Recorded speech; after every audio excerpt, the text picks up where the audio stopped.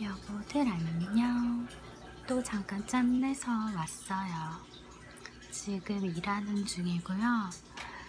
어, 다다음 주부터 일을 그만둘지 말지 고민하고 있어요. 음, 사람은 더 필요하다고 하는데 음, 고민이에요. 할까 말까. 일을 계속하면 힘들 것 같기도 하고 일을 안 하면 음, 약간 심심할 수도 있을 것 같고 고민 중이에요.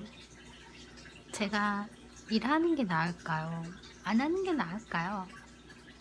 우리 여보들은 어떻게 생각하세요?